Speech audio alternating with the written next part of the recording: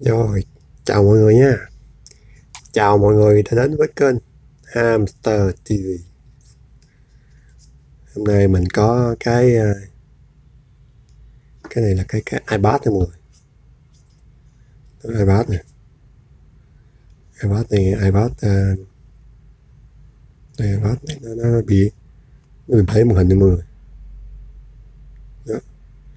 Bể màn hình cái iPad này nó nó có số hiệu là A một bốn tám chín nha mọi người cái uh, mình mình tra là nó nó là iPad 2 mini nha.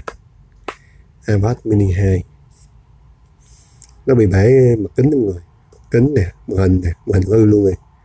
Ờ, mặt kính cảm ứng luôn.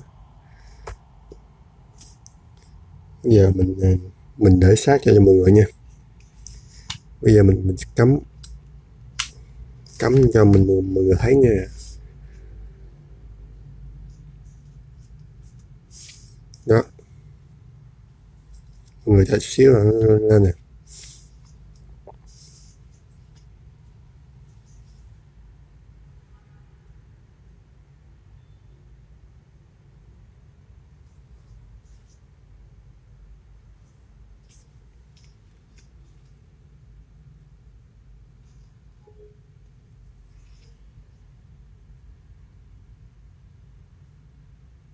Dạ.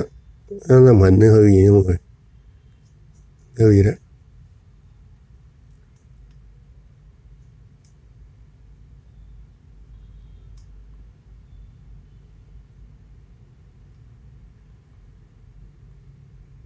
Đây nè, màn nó nhảy nhảy nè. Còn kiến kiến nó bể bể nó nứt á. Nứt nhưng mà nó kiến nó nứt hơi nứt nhưng mà vẫn cảm ứng vẫn nhạy nha mọi người chỉ có cái cái cái, cái màn hình nó nhảy nhảy nhảy. Đó nhảy nhảy nhảy nè. Chưa nhảy nè. Dạ, bấm phím ăn nè. Đó. Rồi. Thì uh, cái bát thì mình mình sẽ để sát cho mọi người. Để sát cho mọi người giá sát nha. Giá ờ, sát chín năm năm trăm ngàn mọi người. Rồi. Dạ, giờ giờ mình rút ra nha. Rút ra rồi xong. Uh, này có wifi mọi người mình tra là có wifi à? iPad mini 2 iPad 2 mini.